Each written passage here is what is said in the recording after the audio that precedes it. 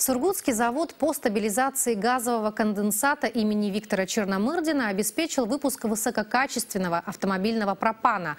Переход на новый стандарт стал возможен благодаря вводу в эксплуатацию установки очистки пропановой фракции от жидкого остатка. Но самая главная цена. Выше она, вопреки всему, не стала. Как пояснил директор Сургутского ЗСК Андрей Дорощук, рост затрат на изготовление новой продукции в условиях крупнотоннажного производства незначительный и не оказывает существенного влияния на формирование «Газпромом» отпускной цены.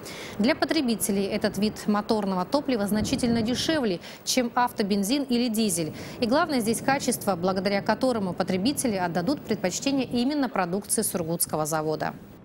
Мы не увидели повышения цен.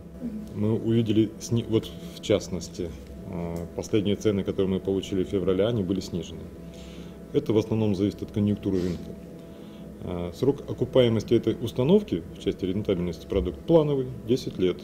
Даже при всех э, ситуации неблагоприятной, установка все равно окупится. Прирост цены, он в нашем крупнотоннажном производстве настолько минимальный, что для потребителя он будет незаметен.